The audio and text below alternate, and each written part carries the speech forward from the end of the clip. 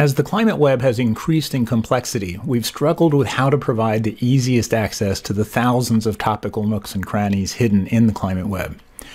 We've increasingly realized that the index feature we've built into the climate web is the most effective way to do that, and we've radically expanded the scope of the index. And you can always get to the index just at the top of your screen by clicking on the index thought. Bear in mind that we are constantly adding to the index, which is up to about 2,000 entries at this point, and constantly adding materials to existing index entries. So it literally changes and becomes more useful day by day. Note too that one of the most valuable things we think the Climate Web Index can do is to help point you to related ideas and topics you might not have thought to look for. That's why individual index entries may be linked to several other index entries, um, and I'd encourage you to play with the index a bit. It's a unique way to explore climate change topics and issues. As you can see, you can access the index through two different branches. All of the index entries are accessible through either branch. It's just two very different ways of finding them. The alphabetical organization is straightforward, and you can click through it in any way uh, you want. As you can see, all the index entries are preceded by an I colon, and there are no spaces in the words. It makes it easier to search for specific index entries, and all the index entries have the same sort of light yellow coloring. The index is organized vertically, and so, you know, here was the beginning point, here's A, B. The fact that there's a little green circle there means there's more under it.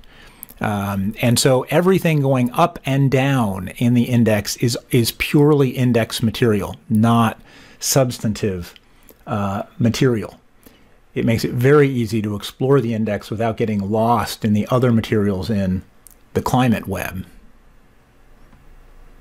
Now let me back out of this, come in through the other index approach via the topical pathways you can follow a series of topical headings into the index that you can see here. And we phrase the headings to try and make it easy to identify what index path you want to go down. In some cases, you can follow the index more than 10 layers uh, down. And again, it's very easy because it's all purely index as you go up and down. I'm going to search for a sample index entry to show you some of the different colors.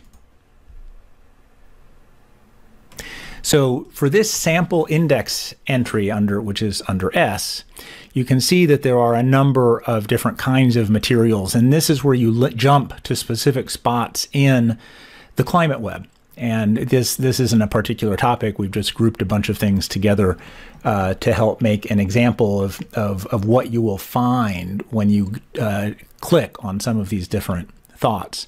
So, for example, A thoughts refer to arguments and link to supporting information. If I click on that, this it, it will, it'll take you to other information.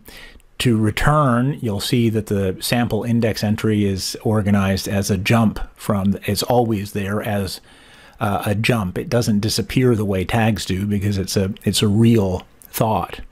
Now, S stands for sources, organizes documents, uh, books, journal articles, etc. N stands for news stories, and it organizes those news stories uh, chronologically, in this case for Exxon and climate change. Q stands for question and answers. Click on that. It'll take you down to a series of questions and answers, this, in this case relating to the social cost of carbon. T stands for network and this is basically pointing you to relevant uh, website resources, in this case, uh, open access training courses relating to climate change. The pink thoughts relate to multimedia, and so uh, it might be V, which is uh, videos, it might be infographics, I, so in this case, you find infographics specifically relating to sea level rise. It might be uh, individual graphics, for example, carbon offsets, where we've collected all sorts of graphics relating specifically to the topic of carbon offsets. And this can be useful for a variety of different reasons.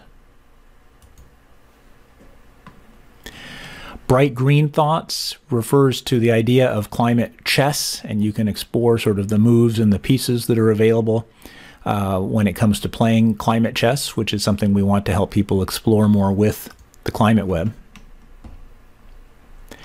Bright yellow thoughts indicate deep dives, and all deep dives are organized in the same way.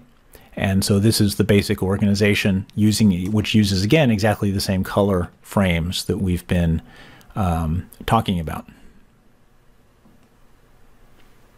So there are a whole series of things, and, and you'll get used to the colors uh, very quickly. In the case of dates slash months, what we're talking about there is uh, news stories and blogs, and the URL for that will be at the bottom of your screen. You, you can't click on it to go to the URL. You have to go to the bottom of your screen to click on the URL. And, and if there is a PDF of a report, that's where you would actually get the PDF and click on the PDF once and it will download.